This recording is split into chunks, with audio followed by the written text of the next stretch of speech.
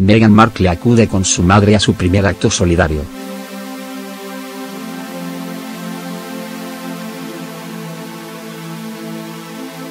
La duquesa de Sussex ha vuelto a dejar a todos con la abierta en su última aparición aunque esta vez no tenía que ver con su look sino más bien con su compañía, su madre, Doria Ragland. Ha sido este jueves en el Palacio de Kensington, donde ha presentado el libro de Concinato Jeter, resultado de sus visitas a la UB Community Kitchen.